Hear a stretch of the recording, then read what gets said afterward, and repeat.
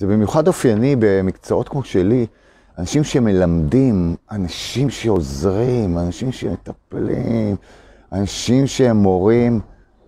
אתה מסתכל על עצמך, אתה אומר, וואלה, אני כבר הייתי צריך להיות במקום שאני מלא חמלה. אני אוהב אנשים, רק אוהב, אני לא כועס, ואין בי אלימות, אני לא רוצה לעשות רע לאף אחד, אני לא שומר טינה, אין לי רגעים של דיכאון, אין לי רגעים של אי שקט, אין לי חרדות. אני כבר לא אמור להיות כאן. ובטח לא להראות לאנשים, כי מי יקשיב לי ומי ירצה אותי? אני כבר אמור להיות במקום אחר. עכשיו, זה מפעיל המון לחץ על המערכת. עכשיו, לכולנו יש את המקום הזה, כי אנחנו גדלנו אצל ההורים, כן? בלי להאשים את ההורים, כל ההורים כאלה, שחלקים מסוימים בנו הם לא קיבלו.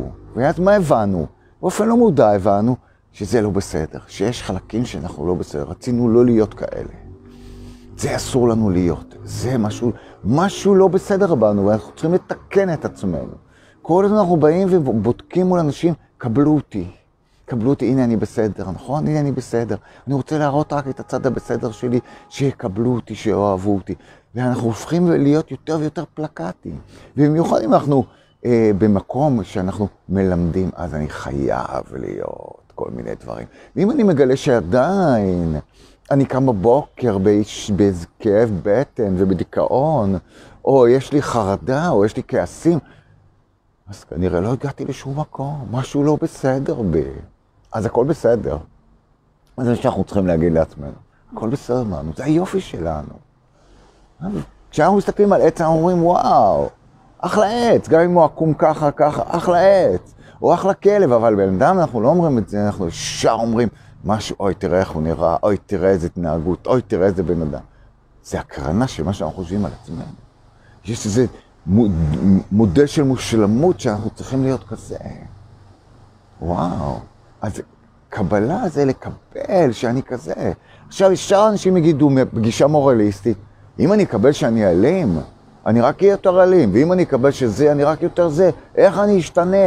זה לא בסדר, אני לא יכול לקבל בעצמי שאני עצבני, צריך לתקן, צריך לתקן. אבל זו הגישה שלא עוזרת.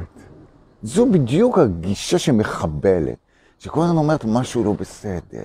להפך, הגישה של קבלה, אני לא כל הדברים האלה, ועם זאת הכל מוכל בפנים, ואני מקבל את זה, אני מסתכל על היופי, על היופי, כשאני מסתכל על חיה, על חתול, כן, הוא גם טורף.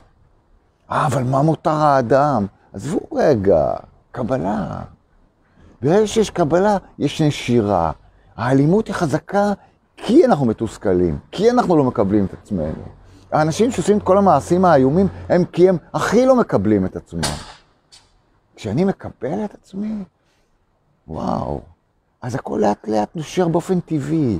למה שאני לא אהיה אוהב וחם כשאני מקבל? למה שאני לא אקבל אחרים? למה שאני אהיה אלים לאחרים? כי אני מקבל את עצמי, אבל זה נראה לנו מורליסטי כיוון לא נכון, אבל אנחנו טועים.